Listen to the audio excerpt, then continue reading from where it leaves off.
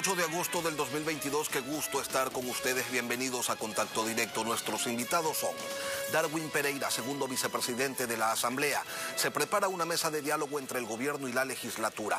El tema de la crisis del IES debe ser parte de la agenda. Se ratificaron además casi en la totalidad del texto de la ley de uso legítimo de la fuerza y posesionan o no a Raúl González como superintendente de bancos son algunos de los temas que vamos a revisar.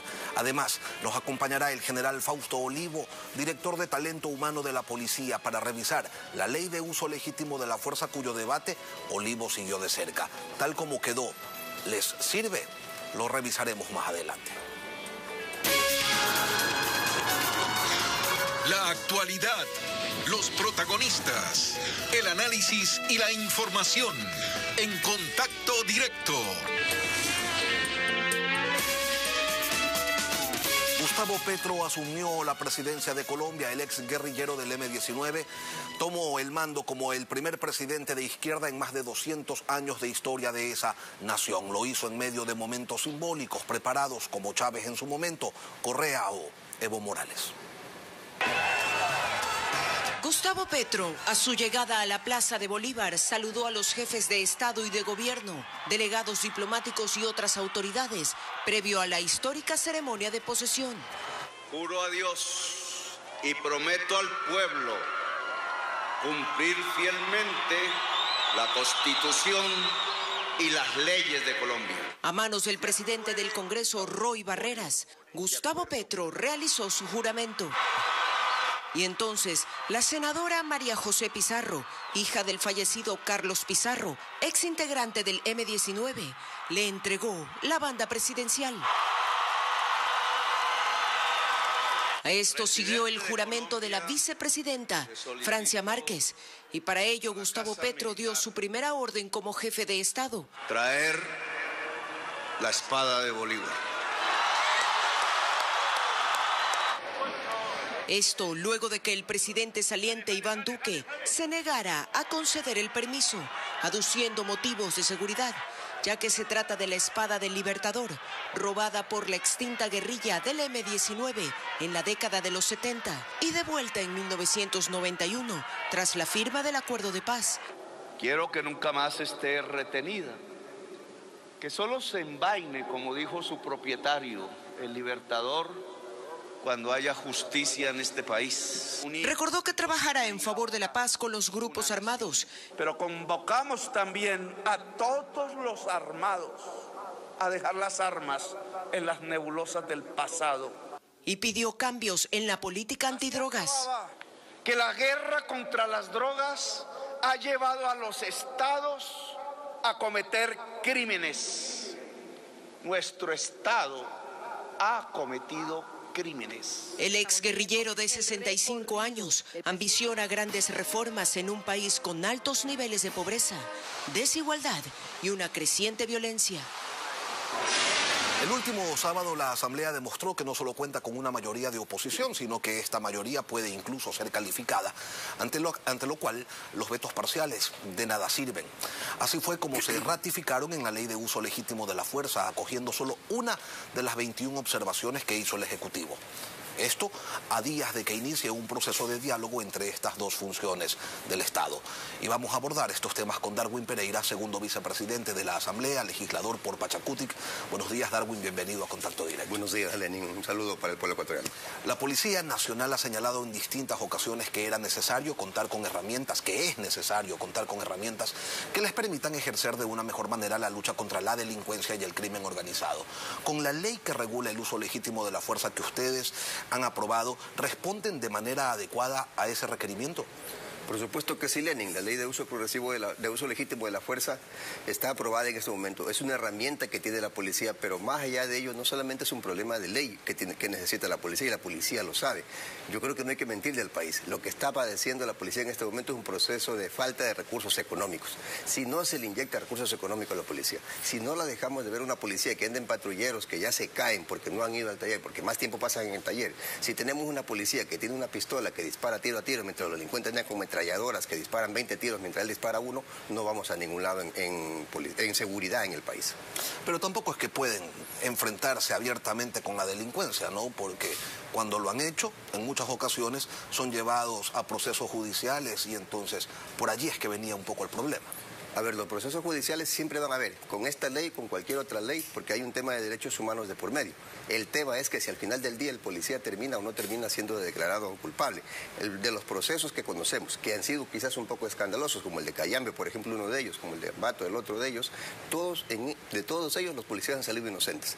Es decir, mañana, no porque tengan, tengan una ley de uso progresivo de la fuerza, no van, van a dejar de ser acusados. A lo mejor alguien que se cree afectado, eh, esperemos que la familia de delincuentes no, no lo entiendan así, pero va a poder, va a poder ejercer su derecho a, a reclamar, porque a lo mejor hubo eh, un abuso de la policía. Pero al final del día lo que va a valer es qué sentencian los jueces. No tenemos ni un policía, al menos en el periodo que yo recuerdo, sentenciado porque eh, haya ocupado su arma de dotación para poder repeler a los delincuentes. Un artículo polémico aprobado y ratificado por ustedes, Darwin, contempla que la cadena de mando es responsable por los actos ilícitos que cometan sus subordinados, porque los policías también pueden cometer algún delito en el cumplimiento de sus funciones.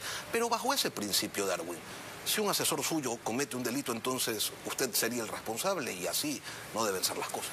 A ver, es responsable respecto de qué lo que, por qué ordenó eso. Se supone que quien hace un, comete un acto, quien sale a, repeler, especialmente esto pasa un poco en el tema de la, represión social. Aquí se mezcló, y parece que ese fue el error del Ejecutivo, se mezcló lo que es combatir la delincuencia con combatir la protesta social. Eso jamás debió haber estado. Cuando se concebió la ley de uso legítimo de la fuerza, jamás se dijo que iba a ir contra la protesta social. El momento que se mezcló se distorsionó todo, porque mañana un policía que le dispare a un ciudadano, como el que pasó en Pastaza, que le clavó una bomba lacrimógena en el ojo, entonces, ¿quién se va a hacer responsable de aquello? Tiene que hacerse responsable la policía, la cadena de mando. Pero, ¿la cadena de mando o quien disparó? Quien disparó, porque al final del día la cadena de mando... estamos asumiendo que la cadena de mando dijo, vayan a matar gente. Y eso no necesariamente es cierto. No necesariamente es así, pero que la cadena de mando debe saber controlar a la tropa. En este momento nosotros tenemos un, ministro del Interior, por ejemplo, que decía que ya quería usar este, escopetas de perdigones. ¿Cómo toma eso la tropa? ¿Cómo toma eso quienes están bajo su cargo? Que es decir, al final del, al final del día, ya en momentos que se han llevado 18 días de paro y que le están diciendo, ¿sabe qué? Ya mismo le damos armas de perdigones para que salgan a matarlos. Entonces, una provocación también de la cadena de mando. Yo creo que hay que saber controlar este tipo de cosas. Ahora, este desencuentro entre la iniciativa del Ejecutivo y la voluntad de los asambleístas. ¿Cómo afecta a Darwin el proceso de diálogo que entre los dos poderes debería iniciar esta semana? Yo creo que no afecta de ninguna manera porque por encima de las diferencias que siempre van a haber, no es que estamos diciendo que porque ya mañana nos vamos a sentar a conversar dejamos las diferencias de un lado, de ninguna manera las vamos a tener. Creo que tenemos la Asamblea y el Ejecutivo una visión de país distinta, sin embargo hay que respetar lo que dijo el pueblo. El pueblo dijo, yo quiero una Asamblea de estas características y quiero un presidente de estas otras características y ahí ustedes pónganse de acuerdo para que nos gobiernen. En consecuencia es lo que vamos a hacer, en medio de esas diferencias encontrar las coincidencias, que sí las hay que sí las hay, que las ¿Cuáles son? Que las revisamos. Le puedo poner un ejemplo que incluso la revisamos a inicio del periodo del, presidente Lazo. El tema de la ley de orgánica de educación superior. Se dijo que ese podría ser un punto de salida. Se dijo que ese era un punto de que nosotros podíamos encontrar coincidencias y las estábamos encontrando hasta que el presidente se le ocurre mandar un proyecto de ley en el que dice que hay que cobrarle el preuniversitario a los estudiantes para la, para la educación superior. Pero en fin, yo creo que las propuestas que él ha hecho se están analizando en la Asamblea Nacional. Yo creo que en el tema salud tenemos coincidencias. En el tema de lucha contra la corrupción tenemos coincidencias. Es decir, hay coincidencias en este país eh, por encima de todas estas diferencias que tenemos, que a lo mejor ha habido, yo sí diría, un cierto grado de egoísmo de lado y lado de, de ponernos y sentarnos, de frenar un rato el acelerador de cada una de las dos funciones del Estado y poder decir, aquí están las coincidencias. Un asunto rezagado y desde hace tiempo es la sostenibilidad del Instituto Ecuatoriano de Seguridad Social, Darwin. La directora general subrogante del IES ha señalado que la entidad está agonizando y que es necesario hacer reformas. Lo dijo aquí y lo dijo también en el Pleno de la Asamblea, recordemos sus declaraciones es necesaria una reforma estructural, porque el IES cuenta con los estudios actuariales y tiene también diferentes alternativas técnicas y paramétricas que se podrían tomar para solucionar este problema estructural, pero no es un tema del IES, es un tema que tiene que arreglarse en la ley de seguridad social que está vigente desde el año 2001. Efectivamente, cinco o siete años y no se toman medidas, el sistema no va a poder sostener las pensiones de las personas que nos vamos a tener que jubilar en el tiempo. Al gobierno central, a la Asamblea Nacional, que por favor nos sentemos en mesas de trabajo a solucionar este tema, que es un tema que le representa al país. Cinco años, siete años pasan volando y de acuerdo a lo que señala la directora general subrogante, no habría ya dinero para poder responderle a los jubilados con sus pensiones. ¿Cuándo van a actuar desde la Asamblea? ¿Cuándo empiezan a atender este asunto que también es importante? En este momento se tramitan tres proyectos de ley de reforma al Instituto Económico de Seguridad Social. O sea, en ese aspecto nosotros hemos tomado cartas en el asunto. ¿Qué es lo que propone el Ejecutivo? Hasta ahora no lo sabemos. Esperemos que en estas mesas de diálogo que vamos a tener lo sepamos. Pero, por ejemplo, yo creo que también aquí hay que decirle la verdad al país. Son 8 mil millones de dólares más menos la deuda que tiene el, gobierno, el Ejecutivo con el, con el Seguro Social. La última propuesta de pago es darle 140 millones de dólares. Eso no le hace ni cosquilla al Seguro Social. Entonces también hay que pasar por un tema de responsabilidad de frente del Ejecutivo con el, con el Seguro Social.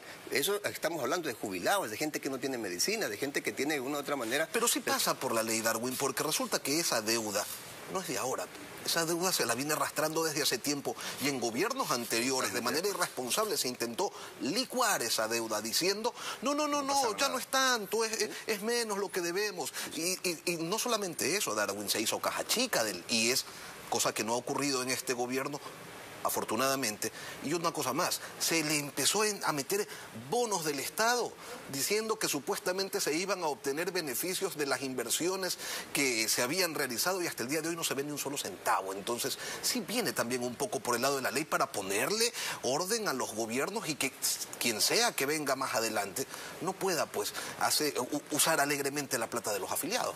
Y además de sus inversiones, recordemos inversiones en cortinas de humo que al final del día no fueron inversiones sino fueron pérdidas para el Instituto de Seguridad Social. Conozco perfectamente el tema del IES. Pero mire usted, este es un tema también que pasa, bueno, digamos que pasa por ley. Digamos que mañana reformamos la ley. No, no pasa también por ley, pero no solamente. Vamos, a, vamos a, aceptar que pasa por la ley. Pero ¿qué pasa si, por ejemplo, el mismo gobierno del presidente Lazo puso como primer presidente desde el que inició el periodo del Instituto Económico Social a un ciudadano que fue denunciado por hacer mal uso de los fondos del Seguro Social?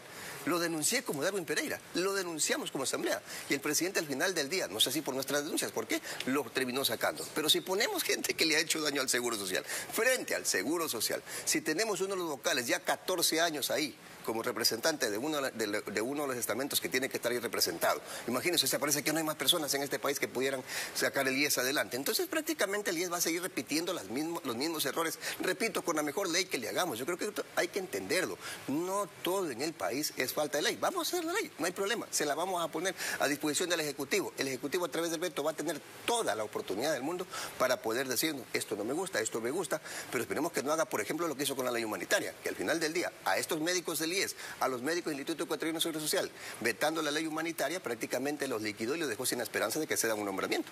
En otro tema, Darwin, un juez de Yaguachi ha aceptado una acción de protección y dispone que la Asamblea posesione a Raúl González como superintendente de bancos. Antes, una jueza de San Borondón ordenó en cambio que la Asamblea se abstenga de hacerlo. ¿A qué juez le van a hacer caso? A ver, aquí la ley es clara, la ley orgánica de garantías jurisdiccionales y control constitucional, y aquí lo digo como abogado. La ley establece que cuando hayan dos sentencias que se contradigan entre sí, porque se contradicen en este momento, quien tiene que entrar a dilucidar no es la Asamblea, es la Corte Constitucional. Nosotros le vamos a hacer caso a la Corte Constitucional el día de mañana. Además de que los jueces deben entender que no nos pueden andar ordenando a la, a la Asamblea Nacional. Nosotros somos muchachos de bando de la función judicial.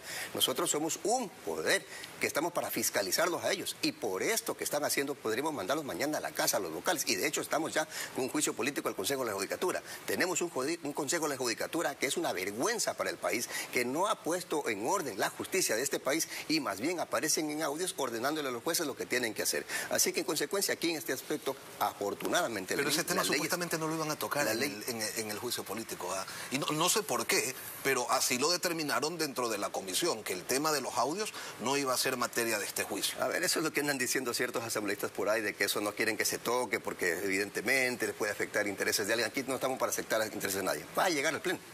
Va a llegar al pleno. Lenin, y usted me va a escuchar a mí topar este tema. Yo no tengo compromisos con nadie. Y el país debe saber la verdad. En el Consejo de la Judicatura hay funcionarios, hay vocales del Consejo de la Judicatura que le ordenan a los jueces cómo hacer las sentencias. ¿Y, quién le ordena a los vocales del Consejo de la Judicatura? Ahí sí nos preocupa un poco porque el Consejo de la Judicatura está casado con el Consejo de, de Participación Ciudadana y Control Social y prácticamente lo que hemos ahí es un secuestro del gobierno. Darwin Pereira, segundo vicepresidente de la Asamblea, gracias por acompañarnos, Darwin, aquí en Contacto Directo. muchas gracias, muy amable. Buenos días. Y luego de la pausa volvemos con el general Fausto Olivo, director de Talento Humano de la Policía Nacional. Se buscaba una ley que protege el accionar de la policía en el combate contra la inseguridad para que puedan reaccionar frente al nivel de violencia criminal que vive el país. Ya regresamos. La Asamblea Nacional le dijo que no a las objeciones que el presidente de la República remitió a propósito de la ley que regula el uso legítimo de la fuerza. Aceptó la Asamblea solo una de 21 observaciones. Y a esta hora nos acompaña el general Fausto Olivo, director de Talento Humano de la Policía Nacional. Buenos días, general, bienvenido a Contacto Directo. Buenos días, Lenin, y buenos días con todos quienes nos escuchan esta, esta mañana. Importante eh, para nosotros comentar sobre esta ley aprobada por la Asamblea. General, ¿cómo califican a esta, a este, a esta ley aprobada pues, por, por la Asamblea? ¿Es una herramienta que va a facilitar su trabajo o en la práctica es una normativa que obstaculiza su labor? Bueno, en principio podríamos hablar de que la, eh, ley tiene eh, efectivamente eh, varios aspectos positivos. la mesa de seguridad ha hecho un buen trabajo en el sentido de incluso realizar visitas a instalaciones policiales, realizar disparos y algo entender la función y la forma como nuestros policías actúan. Sin embargo, eh, eh, al no acogerse estas observaciones que fueron eh, pedidas desde la Policía Nacional, especialmente considerando la situación de inseguridad y del ambiente en el, que, en el cual estamos desarrollándonos, esta ley podría tener algunos aspectos muy negativos, principalmente en lo que tiene que ver con la parte de seguridad ciudadana, la forma como el policía responde ante la eh, ante una amenaza letal inminente.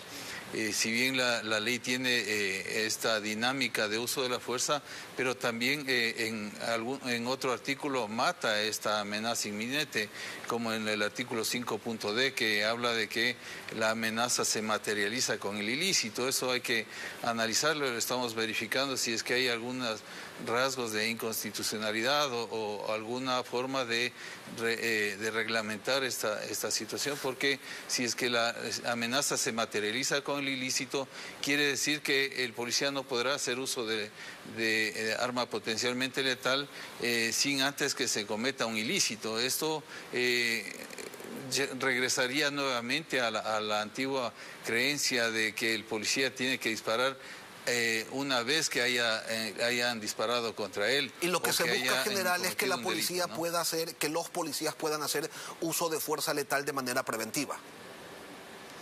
Efectivamente, el uso de fuerza letal es un uso excepcional. Eh, la policía ha madurado muchísimo en el respeto a los derechos humanos y eh, lógicamente nosotros eh, tenemos que entender de que los derechos eh, tienen sus niveles y tienen sus la, protección a la cual obedecen no en primera instancia está el derecho a las víctimas el derecho a, los servidores policiales que están trabajando con alto riesgo para su vida y también el derecho de los, de los procesados, el derecho del infractor. Sin embargo, una exacerbación en derechos en nuestro país sí, sí genera muchos eh, problemas. Nosotros tenemos 44 policías fallecidos. Más de 87 policías se encuentran en este momento eh, enfrentando procesos. Han habido sentencias, sí, han habido sentencias contra policías y es más, han sido indultados por el señor presidente muchas de estas sentencias. Eh, tenemos eh, casos como el comando Velastegui, que inicialmente se le dio una sentencia absolutoria y anularon el proceso y nuevamente tiene que volver a enfrentar eh, un calvario eh, judicial, eh, jurídico, precisamente, porque la ley necesita ser precisa, no ambigua, necesita ser una herramienta para que el policía pueda defenderse ya en el proceso, en, la práctica. Ahora, las observaciones del Ejecutivo fueron rechazadas porque, según no pocos asambleístas, incurría en inconstitucionalidades. Sin embargo, la policía ha señalado que los dotaba de herramientas que les permitirían afrontar de mejor manera el combate a la, delincuencia. ¿Cuáles son esas herramientas que sí contemplaban las objeciones del Ejecutivo y que la Asamblea finalmente decidió no acoger? Precisamente se eh, estuvo trabajando sobre el concepto de amenaza, que es importantísimo. Eh, es necesario que, eh, la amenaza no solo sea real, sino también una amenaza percibida, eh, no eh, necesariamente estamos hablando de subjetividad, sino percibida en base del entrenamiento de nuestros compañeros, de entrenamiento de nosotros como policías, un entrenamiento especializado. Esta percepción eh, necesariamente tiene que estar porque como vemos el ejemplo del policía que disparó a una persona que tenía un pico de botella, en ese momento la, actitud agresiva es, una, es suficiente elemento como para que el policía pueda sentirse amenazado y pueda hacer uso de, de su arma de fuego. Esto es importantísimo, otro de los temas importantes y que no rasgan en inconstitucionalidad, más bien están afectando los derechos constitucionales del policía, es la detención del policía. No se puede criminalizar la actividad policial un policía está ejecutando sus acciones en cumplimiento de su deber legal, lo que la Constitución, el Estado y la ciudadanía le exige al policía. Bueno, pero, la ley contempla general que el policía no podrá ser separado de su trabajo mientras no haya terminado el proceso legal en caso de que se inicie uno por un supuesto uso no legítimo de la fuerza. Eso está en la ley, ha sido aprobado. No, eh, eh, un tema es de que no sea eh, separado y otro tema es de que no sea detenido. Lamentablemente nosotros pedíamos de que se incluya un texto que ya está aprobado en el Código Integral Penal, que es una causal de exclusión de responsabilidad, que el policía que cumple con su deber legal no comete delito. Esto está aprobado en el Código Integral Penal y eso necesitábamos que se incluya en esta ley, pues es necesario de que se le quite al policía de su de su mente el que va a ser detenido, aun cuando esta detención se le dore con el uso de grillete y un arresto domiciliario. No se puede desconocer que hay sectores en la Asamblea que tratan de posicionar la idea de que la policía lo que busca es carta abierta para salir a disparar a diestra y siniestra contra todo el mundo y de eso no se trata. Le pregunto, ¿ustedes identifican en algunos sectores de la política, de los políticos, quizás la intención de coartar la posibilidad de que la policía pueda tener una actuación más efectiva en la lucha contra la delincuencia común y el crimen organizado? Bueno, son mensajes eh, eh, opuestos. Eh, realmente nosotros hemos demostrado con, con, hechos de que la policía es madura en la forma de actuar. No hemos tenido casos de ejecuciones extrajudiciales ni, ni casos de violación de derechos como se podría pensar. nosotros realmente con el caso de, de Raúl Wong, en el cual él pudo haber quitado la vida a, ese delincuente, no lo hizo porque utilizó su arma de fuego eh, hasta que cesó la amenaza, que eso es parte de lo que está y parte positiva de lo que está en esta, en esta nueva ley, ¿no? el policía tiene que actuar y disparar hasta que cese la amenaza para evitar de que se conceptualice una extralimitación en el uso de la fuerza solamente por el número de disparos. Ustedes vieron que hay casos en los cuales el policía tiene que hacer varios disparos hasta que esta amenaza cese. No puedo dejar de tocar este tema porque es de interés nacional, el tema de los narcos generales, que eh, se ha publicitado bastante y aparentemente es solamente una arista del problema porque no son pocos los policías en servicio activo o pasivo que son detenidos colaborando con la delincuencia. ¿Qué se está haciendo al interior de la institución para controlar que el crimen organizado no penetre en ella? Y se lo pregunto a usted como director de talento humano. Eh, sí, muy buena pregunta. Realmente eh, nosotros como institución debemos resaltar la transparencia eh, que siempre la hemos tenido. Nosotros pedimos que se realicen estos exámenes especiales a nuestras cuentas, abrimos todas nuestras cuentas y, y este momento ha sido claramente establecido de que nosotros eh, tenemos nuestros ingresos absolutamente justificados, porque hasta el último depósito ha sido investigado y justificado totalmente en las cuentas del alto mando institucional. Eh, tenemos entendido de que uno de, nuestros compañeros posiblemente eh, no llegó a justificar completamente y los montos no son exagerados. tenemos entendido de que esto puede ser justificado ya en, en un proceso legal. Pero nosotros más allá de esto, este principio de transparencia nos permite también exigir nuevas, eh, nuevas leyes. Necesitamos eh, tener las herramientas suficientes para sacar de la institución a las personas que entran en corrupción o eh, han actuado con el crimen organizado. Usted podría asegurar, general, general, usted podría asegurar que el narcotráfico no se ha infiltrado, no está dentro de la Policía Nacional.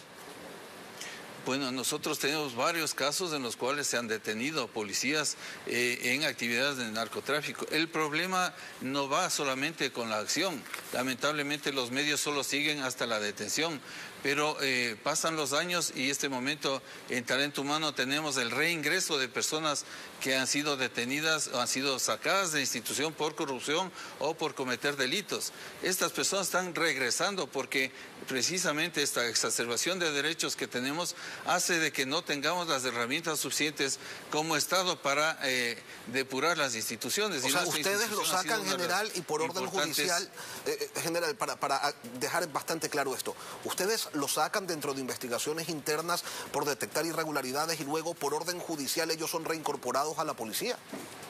Así es, tenemos varios casos en los cuales eh, eh, la Administración de Justicia retorna y con todos sus derechos a personas que han sido separadas de la institución. Fausto Olivo, general de la Policía Nacional, director de Talento Humano. Gracias por acompañarnos, general, aquí en Contacto Directo. Una pausa y volvemos.